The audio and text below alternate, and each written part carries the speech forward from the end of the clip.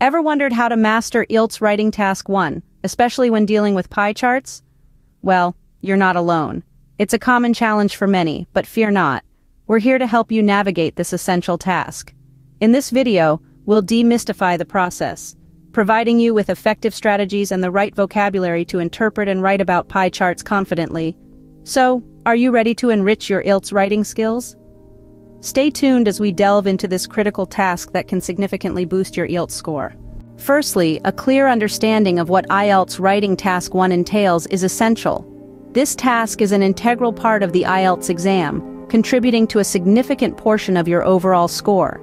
Essentially, it requires you to describe, summarize, or explain the information in a graph, chart, or diagram, and one of the most common types you may encounter is the pie chart.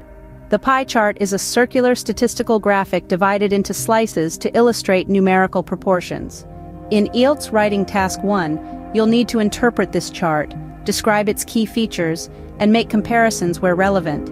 It's not just about describing what you see, but also analyzing the information and reporting it effectively. Understanding how to correctly interpret and describe a pie chart is crucial to scoring well in this task. It's about clarity, precision, and the ability to convey complex information in easy-to-understand language. Now that we understand the task at hand, it's time to break it down into simple, manageable steps. Breaking down the process of IELTS writing task 1 into simple steps makes it less daunting, so let's dive right in and take it one step at a time, shall we? First up, understanding the question. This is the foundation of your answer. You need to be clear about what exactly the task requires you to do. Are you asked to compare, contrast, or describe the pie chart? Pay close attention to the instructions and the title of the chart. This initial understanding will guide your entire response. Next, planning your answer.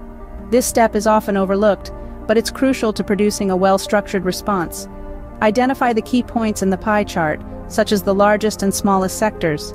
Think about how you can group similar information together. Create a mental map of your answer, starting from the introduction, then the overview, and finally the detailed paragraphs. The third step is writing your answer.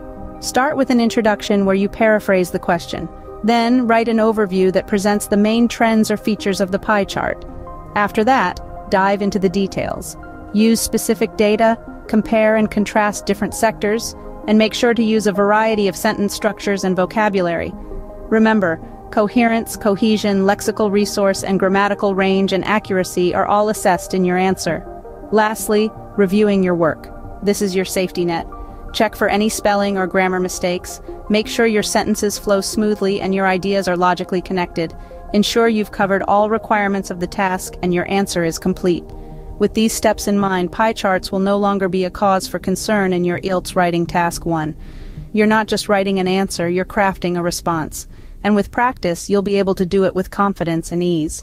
Remember, every great journey starts with a single step and you've just taken four. So take a deep breath, pick up that pen, and let your journey to mastering IELTS writing task 1 begin. The right vocabulary can make a significant difference in your IELTS writing task 1 score. So let's dive right into the essential lexicon you need to describe pie charts effectively. First up, we have some crucial terms to express proportions. Majority and minority are your go-to words when a section of the pie chart represents more than half or less than half, respectively. A significant proportion or a small proportion can also be used to describe large or small sections of the pie. When the pie chart sections are similar in size, you can use terms like roughly equal, approximately the same, or almost identical. For instance, you might say, the majority of the budget was allocated to marketing, while research and development and infrastructure had roughly equal shares. Next, let's talk about changes. Pie charts often compare data over time, so you'll need to describe how proportions have changed.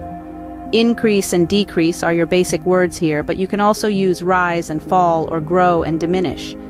If a proportion remains the same, say it remains stable or stays constant. For more dramatic changes, use sharp, significant, or dramatic before increase or decrease. For smaller changes, slight, modest, or minor can be used. For instance, there was a sharp increase in the proportion of funds allocated to marketing, while the share for infrastructure saw a slight decrease. Finally, when comparing proportions, use compared to or in comparison with. For example, The funds allocated to marketing were significantly higher compared to those for infrastructure. Remember, variety in vocabulary not only demonstrates your language skills but also makes your writing more engaging. So don't shy away from using synonyms and varying your sentence structures. Armed with this vocabulary, you are ready to tackle any pie chart that comes your way in the IELTS Writing Task 1. To summarize, mastering IELTS. Writing Task 1, particularly with pie charts, is not as daunting as it may seem. Let's take a quick moment to revisit the key takeaways from our discussion today. We started off with understanding the basics of IELTS writing.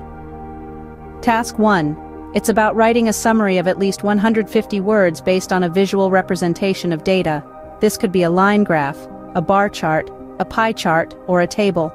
Then we moved on to the four-step process for tackling this task. Step 1. You're going to need to analyze the pie chart carefully. Step 2. Plan your answer by identifying the major trends or changes. Step 3. Write a clear and concise introduction and overview. And finally, step 4. Describe the details accurately using appropriate vocabulary. Speaking of vocabulary, we took a deep dive into the essential words and phrases you'll need when describing pie charts. We looked at how to talk about percentages, proportions, comparisons, and changes over time.